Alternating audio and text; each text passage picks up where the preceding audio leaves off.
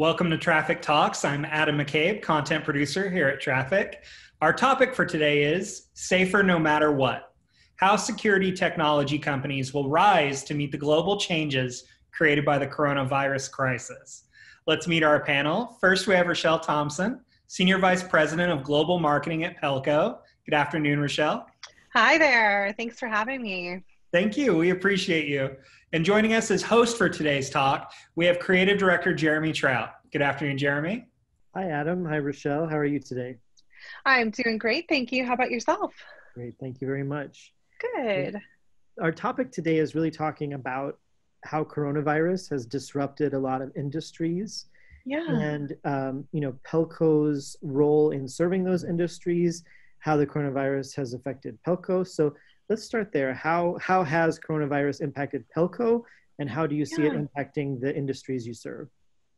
Uh, that's a great question. And, um, you know, it's, it's an interesting one too, because um, we have a unique ability right now to serve a wide variety of industries, but with healthcare in particular, and what the pandemic has done is it's created this need to quickly set up these makeshift healthcare facilities um, you know and, and i think that we've seen that over the course of the last few months yeah. hotels converting conference centers. Um, in fact, here in Santa Clara County, they converted our, our convention center.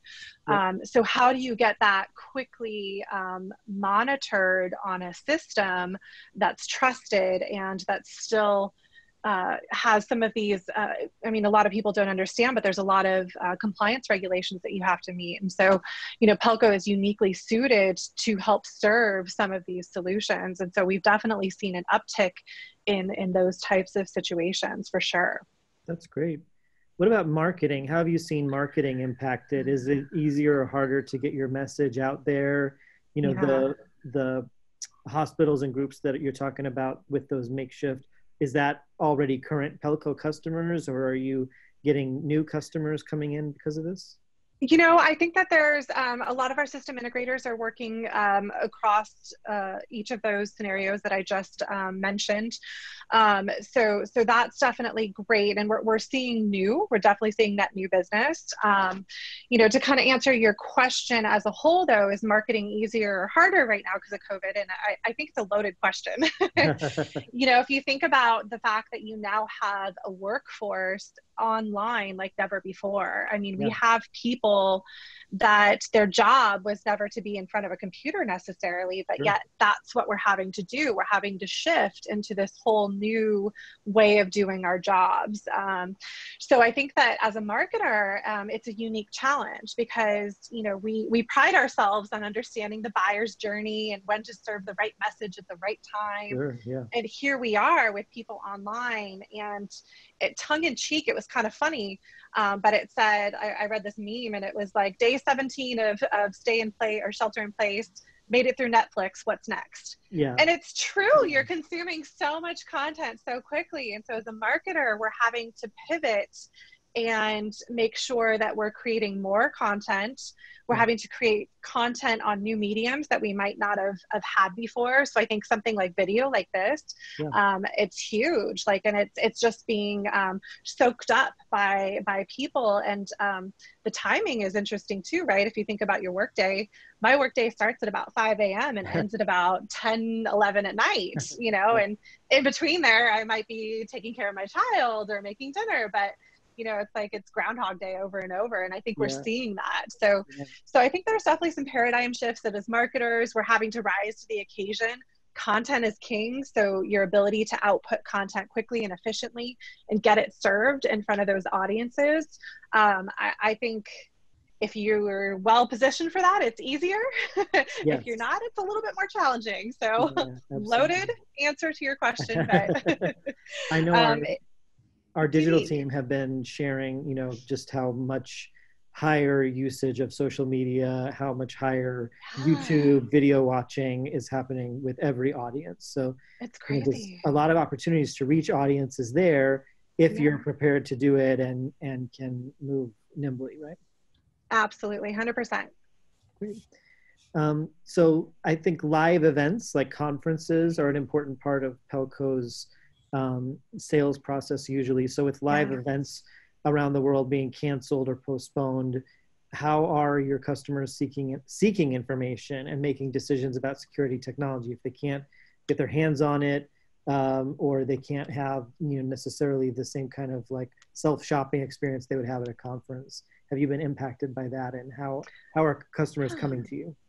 Absolutely. Um, and yes yes and yes. I mean it's definitely um, in fact, we just missed one of the biggest trade shows of the year, which is ISC West. And to your point, that's probably not just for us as a vendor, but um, our customers and prospects they kind of save up for the whole year to go to that show. They have their yeah. checklist of solutions and vendors and demos they they want to schedule. So um, our sales team has definitely um, been rising to the occasion and finding creative ways to give demonstrations. Um, the nice thing about our video management solution is that we do have a demo that is interactive. That we have some uh, video feeds of you know our cameras in action. So they've been able to really take advantage of the different platforms um, from Zoom to Teams to Skype. Um, you know, we've used them all and continue to do so. Um, we also have a learning management system. Um, so uh, a, a, PLC is what we call it, our Pelco Learning Center. Yeah. And so uh, there we have a lot of courses. And so we've definitely seen an uptick in people just interested in like what we, what our courses are about, how to uh, be more proficient with our products. Mm. Um, so we're definitely trying to output more course material as well as um, just general webinars, you know, uh, giving them information. In fact, we launched a series of snack sized webinars with your help, um, TRAFFIK. And they've been wildly successful just because people are so hungry for bite sized information. Yeah. And really, what that webinar series was meant to do was it was meant to be your booth walk up demo. So if yeah. you would have come up to us at ISC West, that's exactly what we would have walked you through. So so that's what we're trying to do is create more of these experiences where we can still give you, you know, what we would do at these events, um, just in a in a manner in which you can sit in your basketball shorts or yoga pants. yeah, one of the things I think has worked well with uh, webinars for Pelco's audiences and other audiences is there's a little bit of schedule and a little bit of structure to it. So yeah. it's not it, it it's a nice complement to just the random googling that people would do or you know capturing somebody through as a lead through social media or something it allows people to say okay, I'm going to think about my security needs at two o'clock on Tuesday and, you know, get a little bit prepared and look forward to it and then have time to make a decision. I think that that helps alleviate some of that issue of um, events being canceled, right? Absolutely. 100% for sure. Okay. What are you hearing directly from your customers? How has coronavirus pandemic changed their goals and needs? You mentioned um, some in the healthcare space. So obviously mm-hmm. they have a lot of new needs um, yeah. and, and fast moving uh, needs. Um, what else are you hearing from them or from other customers? Absolutely. Um, you know, I think the, the, the number one thing we've seen is that even given the pandemic, you know, projects might be delayed, but they're not canceled um, because you know if you think about your physical security infrastructure you can't cancel safety. Um, it's it's definitely something that's paramount to an organization's you know objectives um, keep people safe. So i think that um, you know we've seen in some industries an acceleration and others you know maybe taper down but places like airports you know there's some unique new challenges that they're having to overcome. And so you know as a trusted vendor and partner to these um, different industries we are trying to also come up with solutions. You know we we pride ourselves on having an open platform, which allows us to integrate with different third party solutions that might give us a more holistic approach. So, um, you know, we're definitely starting to see more of that. Nothing I can talk about yet, but there's some great, cool features mm-hmm. coming soon. Um, but all with that um, in mind is that, you know, there's been a paradigm shift in the world and we have to continue creating solutions that meet the needs even in this type of a situation and so you know that's really what we're focused on i might be asking you uh, i might be pushing at that boundary a little bit but uh, we're wondering how you do see pelco products contributing as the world is reopening in this world where yeah. um, i know even in um, you know some parts of asia like enhanced surveillance um, you know different tracking needs like following vectors of you know carriers and things like that. How does what does pelco offer in that space You know, we we don't really have an active solution with regards to any of the the tracing um, and the tracking that's going on. I mean, we have other tracking solutions more related to vehicles and uh, people, um, just in general, but not related specifically to this. Not to say that there couldn't be, um, but it's definitely something that is is worth exploring as an additional, um, you know, feature to um, be able to offer in the future and with those integrations that you said are a core part of your business i'm sure that you know your solutions work together with the solutions offered by companies that are offering that. Absolutely. Absolutely. And again um, you know there's there's a physical security is such a vast um, array of solutions that serve different needs. You have access control. You have, um, you know, there's a lot of location services now with, um, you know, monitoring where people are. There's like badges that with sensors. I mean, all of those things kind of uh, culminate into your physical infrastructure. And so we can play in that area. And so our goal is to kind of be this united platform that can help tie these things together. But really, our core is our video management solutions and how we tie any anything related to the cameras and what they can capture and how they capture it to make you as efficient as possible. What about thermal imaging? I know that yeah. some of your solutions do offer that. Have you had customers asking about that being part of their post-COVID solution? Yeah, it's interesting. Um, the thermal is a very interesting topic, and it's it's a specialized um, camera um, that, that, there's actually two veins to thermal. So you have uh, thermal imaging, which can just detect whether there's, you know, a figure uh, versus you know landmass and then there's actually these other solutions that can detect temperature. So um, that is not a solution that we offer. And um, we have decided not to engage in that path. Um, it again it's a very unique skill set and there's a lot of um, actually i don't think there's a lot of vendors but there's several vendors out there that do it really well mm. you know so from from our approach um, you know we're going to continue focusing on the solutions we do have you know know, I think that just, you know, as an aside, um, one of the things we did get hit with a lot of requests on the on the thermal. So absolutely they see thermal and they're like oh you can detect body temperature like if yeah. i have a fever. Yeah. so so no we can't. Um, but also i think that you know it's it's an interesting solution if you really think about it. You know if you do have this camera in place they're very expensive. Um, but what's your protocol? And so i think again as we look to how the world is shifting so if these organizations are going to have these cameras what happens if you do have a body temperature? You know are they going to dispatch security on you? Yeah. you're already you're already shedding the virus so it's already a little bit too late with that so i think it's just interesting to understand you know yes you can have this type of solution but what are the protocols with it? And I think that's what we need to keep having that conversation. But Pelco, as a vendor providing that, will not be playing specifically in that space, but we'll continue with our thermal imaging for, you know, tough lighting, um, a lot of perimeter detection. So that's really where our thermal cameras play. Gotcha. Great. Do you feel like there's any permanent changes on the horizon? So, you know, we talked about some of those things like temporary structures and things like that. Do you think do you see or do you foresee the way Pelco offers solutions or the way some of the industries you serve operating changing, you know, long term? Or do you think things will go back to the way that they were?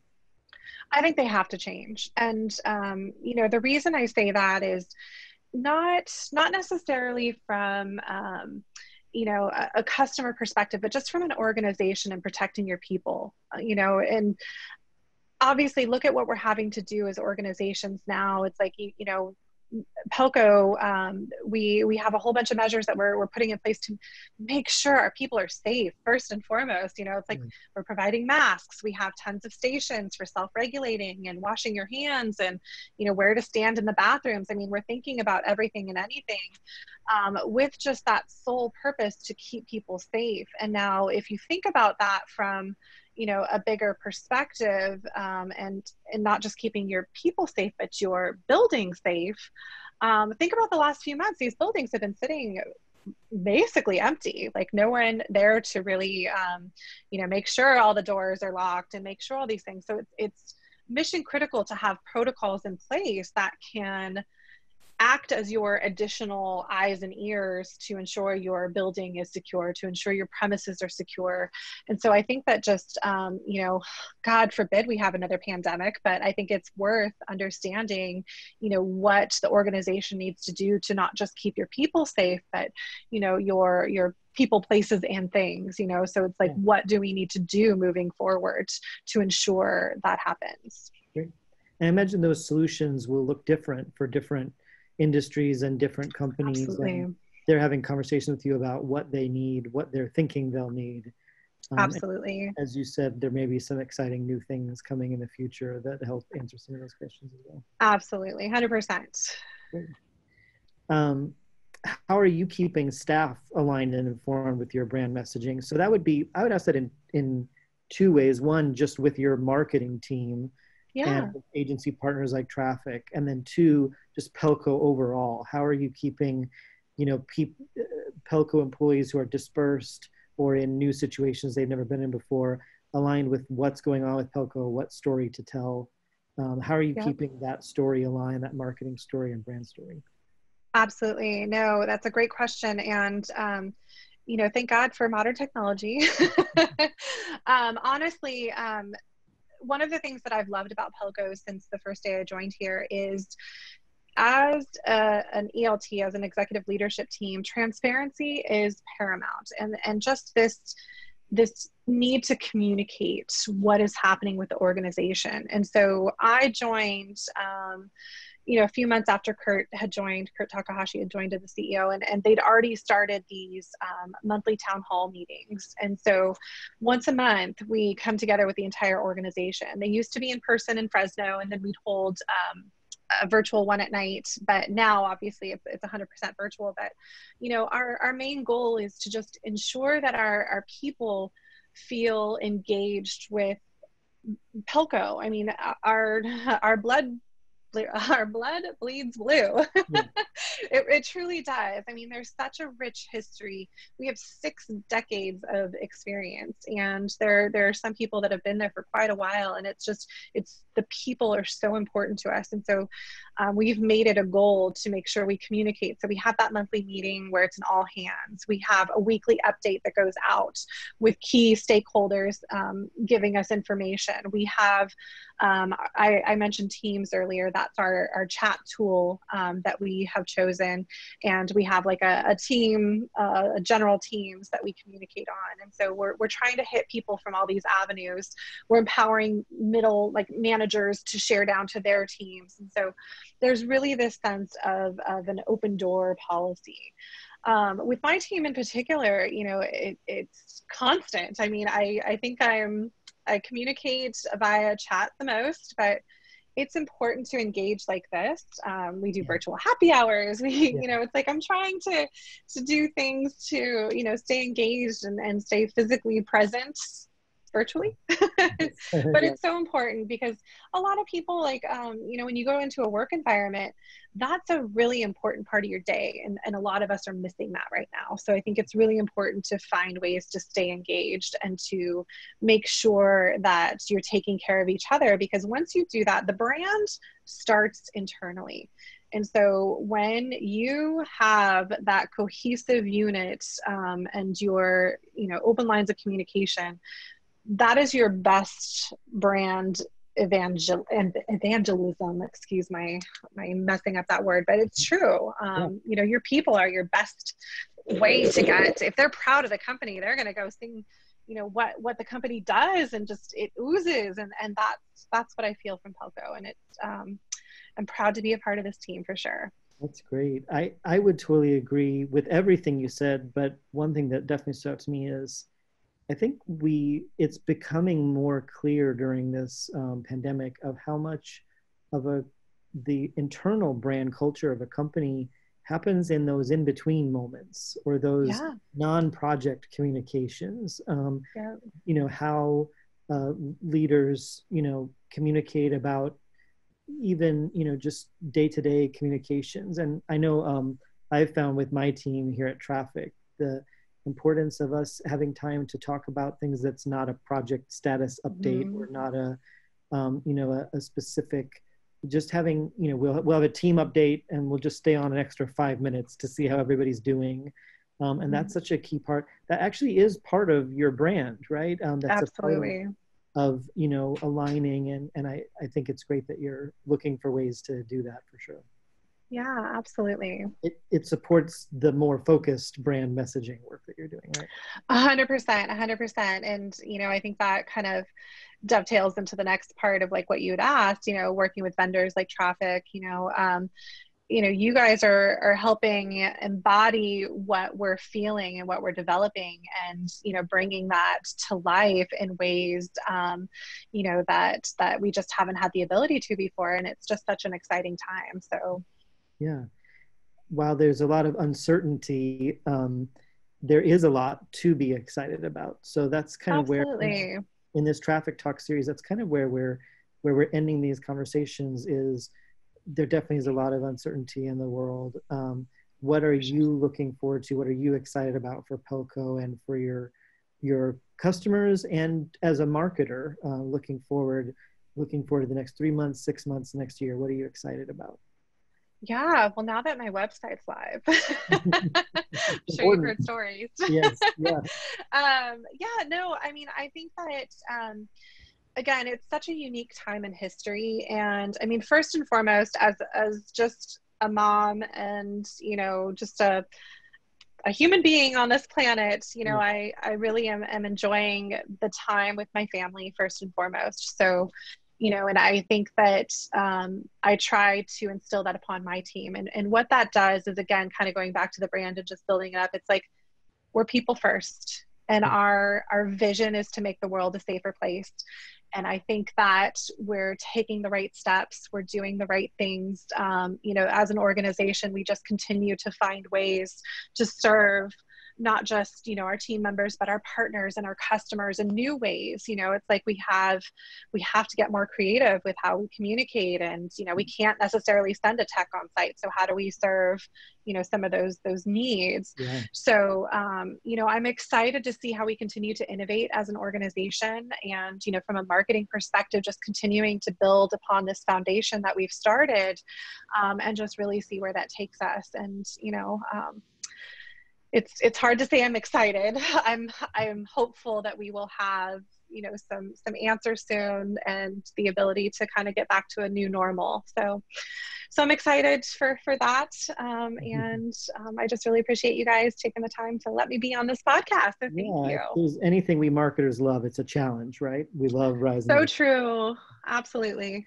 Excellent. Well, thank you so much, Rochelle, for talking with yeah. us. Um, it's been really great to get a view into what you're seeing for Pelco and your your customers during this time. Awesome. Thank you so much. You're sure we'll chat soon. for sure.